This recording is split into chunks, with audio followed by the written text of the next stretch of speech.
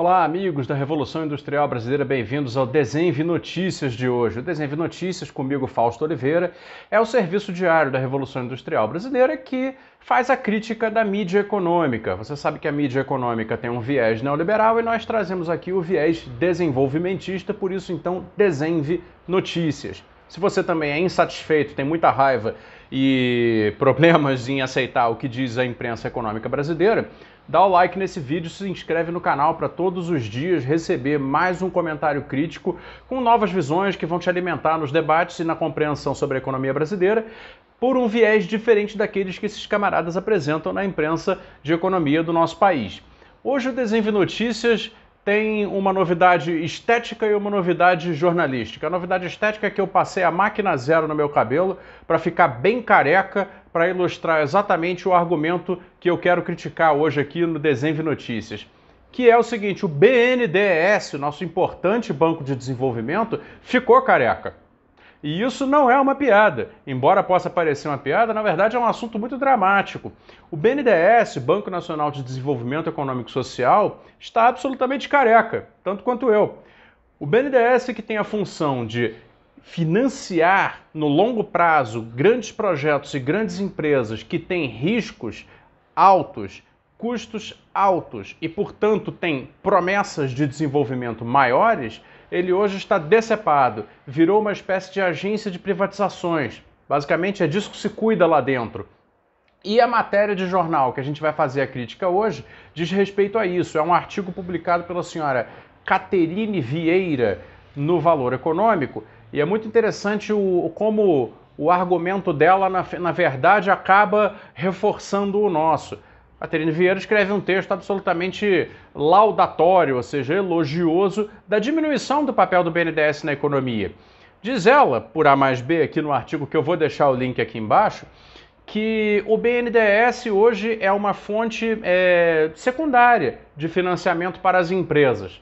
Hoje, a maioria das empresas, e aí tem o gráfico aqui, está recorrendo às emissões de dívida corporativa na Bolsa de Valores, está, portanto, fazendo, portanto tomando financiamento em endividamento privado, ou se com emissão de ações ou com emissão de outros instrumentos financeiros na Bolsa de Valores.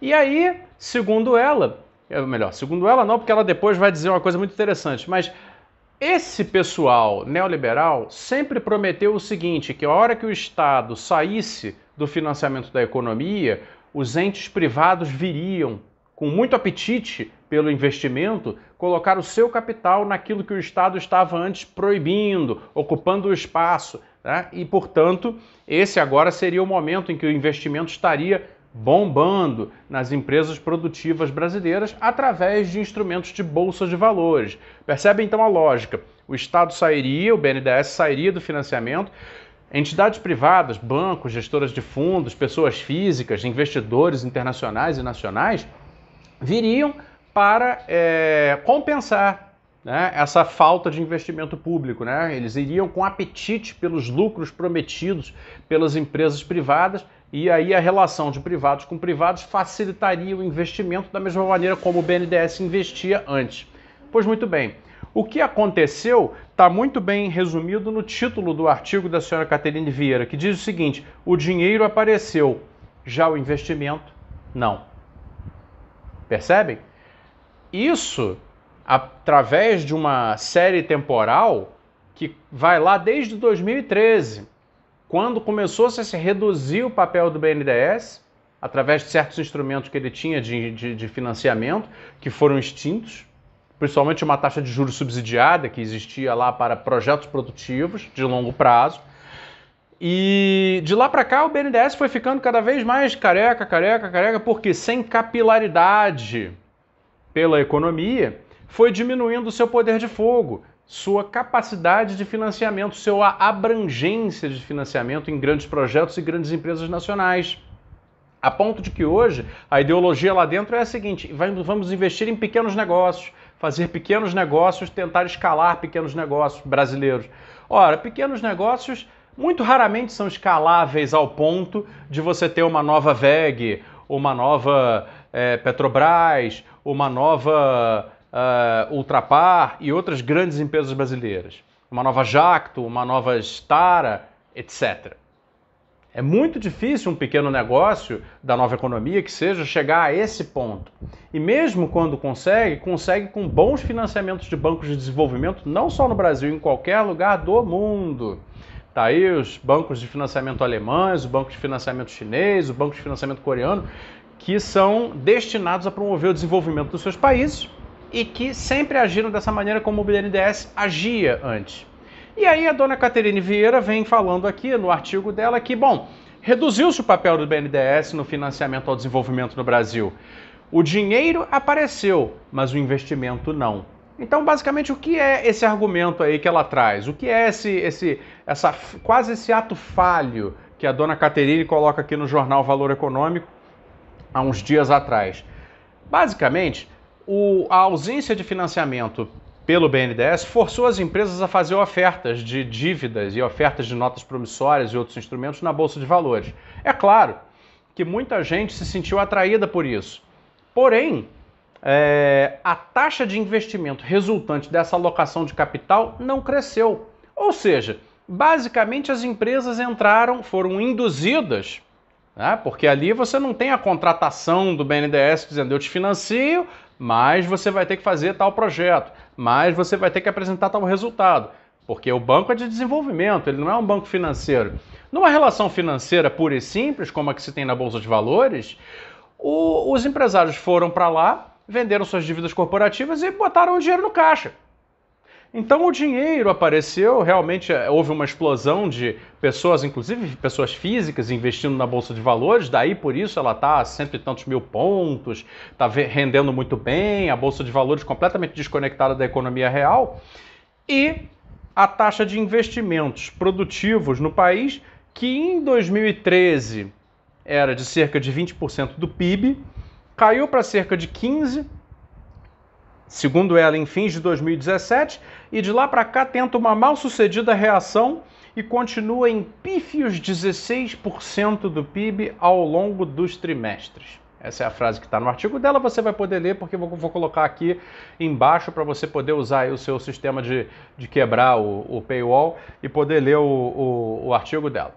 Então veja, o que está acontecendo é que com a ausência do BNDES na estruturação do financiamento ao desenvolvimento do Brasil, a substituição do capital que ele destinava por um capital privado, que no fundo está interessado apenas no retorno financeiro e não na estruturação de projetos, colocou aqui uma situação muito complicada em que a disponibilidade de capital está praticamente igual, o gráfico mostra isso, você vai poder ver, mas a destinação do capital já não é produtiva, porque a taxa de investimento não corresponde à taxa de alocação de capital naquilo que deveria virar investimento. Ou seja, a financiarização acelerada da economia brasileira extinguiu praticamente o papel do BNDES como financiador do desenvolvimento econômico e social e não colocou nada no lugar.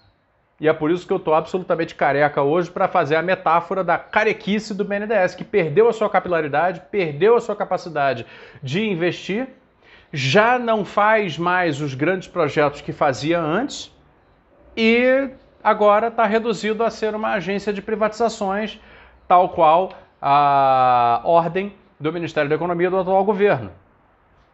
Compreenderam? Então, nós fomos desprovidos no Brasil de um excelente instrumento de indução do desenvolvimento.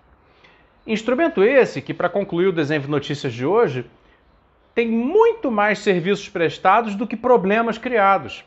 Embora se possa criticar o BNDES por, por exemplo, ter preferido na gestão dos anos do governo anterior, ter preferido projetos de baixa e média complexidade aos projetos de alta complexidade, ter preferido infraestrutura é, é, menos complexa e menos essencial a outras infraestruturas, etc, etc.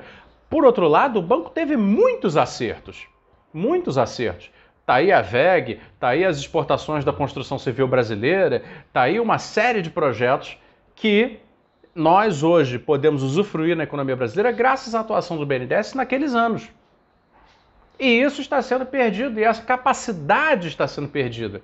Daqui a mais um pouco, não vai haver no Brasil nem a capacidade de fazer projeto, nem a capacidade de financiar projeto. E o resultado disso é a liberação da economia brasileira dentro de forças de mercado que vão levar o status quo, ou seja, essa economia agrária exportadora, essa economia primária, que não gera encadeamentos produtivos, que não gera ganhos de escala, que gera problemas de vulnerabilidade estrutural no comércio internacional cada vez maiores, a dominar todo o panorama econômico brasileiro. É isso que você acha correto? Eu não acho isso correto. Então, o BNDES hoje careca, completamente sem capacidade de espalhar pela sociedade os benefícios de um financiamento de longo prazo com é, tomada de risco e posicionamento estratégico frente aos projetos, hoje ele está substituído por uma ciranda financeira de curto prazo, que no fundo não visa o desenvolvimento de nada, visa apenas a obtenção do retorno do investimento de curtíssimo prazo com taxas razoáveis que são do interesse apenas do investidor privado que colocou seu capital ali. E é por isso que desse sistema nunca sairemos de uma taxa de investimento em formação bruta de capital fixo, que é como se chama, tal como essa que a dona Caterine Vieira enumera no seu artigo, de uma maneira que praticamente expõe a contradição, embora ela não aceite, não assuma né, que existe a contradição. Chega até a comentar: existe quem defenda que o investimento público tem que voltar, mas também é possível que o investimento do mercado, quando passarem as incertezas e passarem as reformas, volte e supra o papel do investimento público que saiu. Balela, pessoal. Balela, isso não vai acontecer. Está provado já que não vai acontecer. Antes de pandemia, com o governo Temer, eleição com Paulo Guedes entrando e tudo mais, todo mundo no oba-oba, Bolsa de Valores já bombou 120 mil pontos e nada disso aconteceu. Isso não vai acontecer. Isso não depende da circunstância é, é, da política. Isso, isso depende do seguinte: o quanto vale ou quanto não vale investir. E aqui no Brasil, esses camaradas sentem que vai valer mais sempre botar no rentismo do que fazer o investimento. Essa é a matemática. Ou, portanto, ou você tem um BNDES, que assim como o KfW alemão toma investimentos de longo prazo e aceitando risco com visão estratégica, ou você não tem é nada. E hoje no Brasil nós estamos perigando ir para o não ter nada e ficarmos sem nada. Pessoal, é isso. Desenhe notícias todos os dias aqui na Revolução Industrial Brasileira no YouTube e também no IGTV. Acompanhe, deixa o like e se inscreva no canal. Ajuda a espalhar a mensagem desenvolvimentista compartilhando com seus amigos. Obrigado, até amanhã.